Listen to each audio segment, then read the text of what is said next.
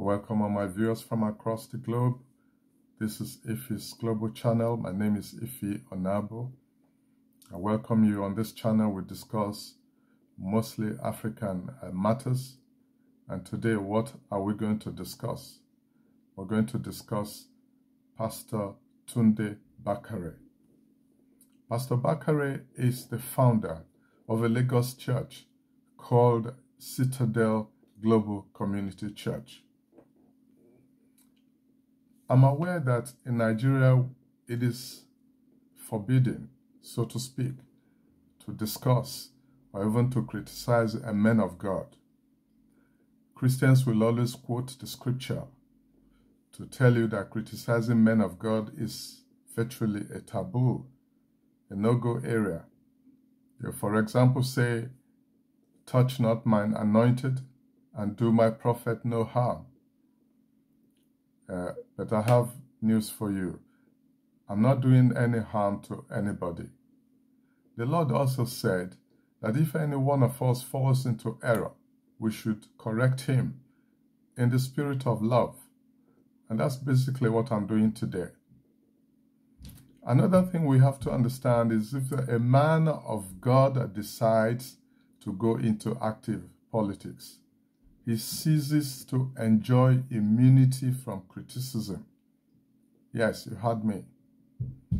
We can interrogate his actions, we can interrogate whatever he does, and whatever he does becomes a matter of public interest.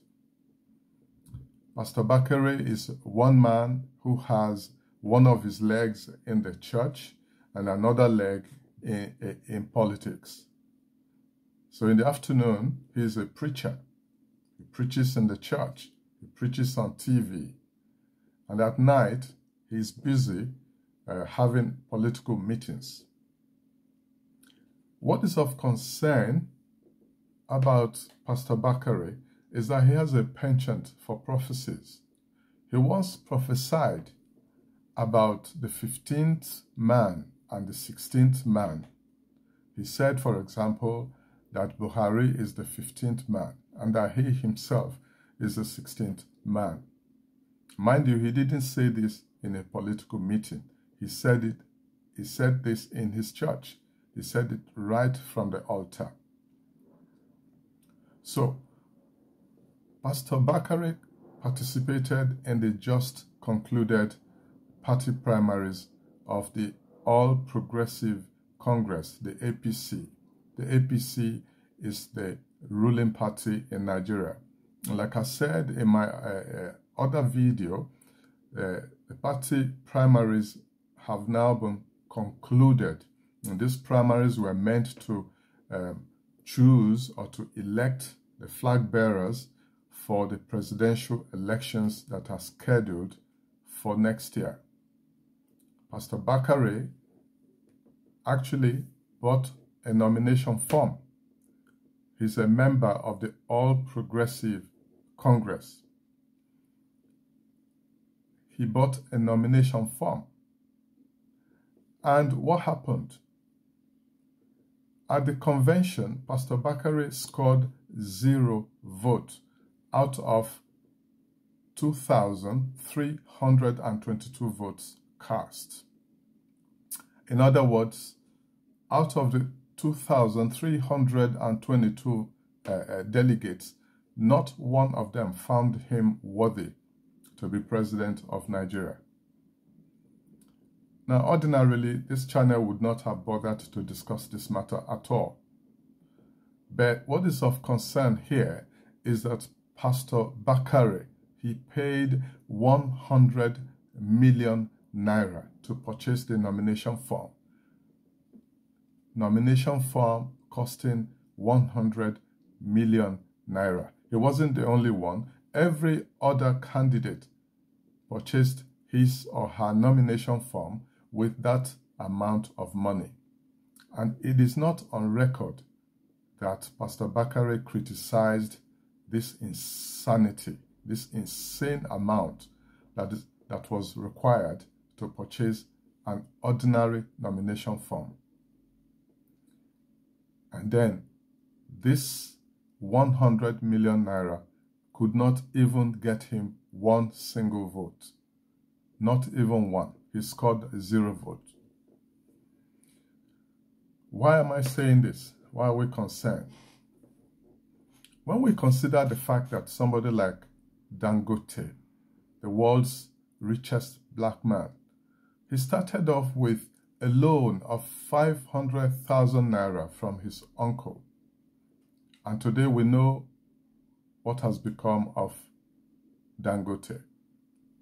Now suppose Pastor Bakare had decided to give just 5 million naira to empower 20 young budding entrepreneurs in his church or even outside his church. Now, it is obvious that these ones, if they put that money into judicious use, then in the next few years they will become employers of labor. But he chose to pay 100 million naira to purchase a political party form. Talk about squandering of resources. Now, after his loss, Pastor Bakare went again back to the pulpit to explain away his loss, and he quoted scriptures to explain all this. He quoted from Daniel chapter 4, verse 17, and he read from the uh, message translation. I will read that for you, for my viewers right now. Daniel chapter 4, verse 17. He said, The angels announced this decree. The holy watchmen bring this sentence so that everyone living will know that the high God rules human kingdoms. He arranges kingdom affairs however he wishes and makes leaders out of losers.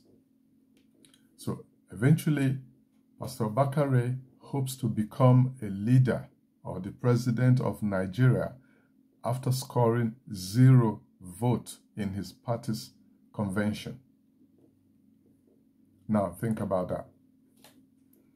I will leave my viewers with a word of the Lord. In the Bible, God warns us very, very clearly about what types of prophet we should listen to. In the book of Deuteronomy, chapter 18, verse 22, the Lord of hosts said, When a prophet speaketh in the name of the Lord, if the thing follow not, nor come to pass, that, that thing which that is the thing which the Lord had not spoken. That is the thing which the Lord had not spoken.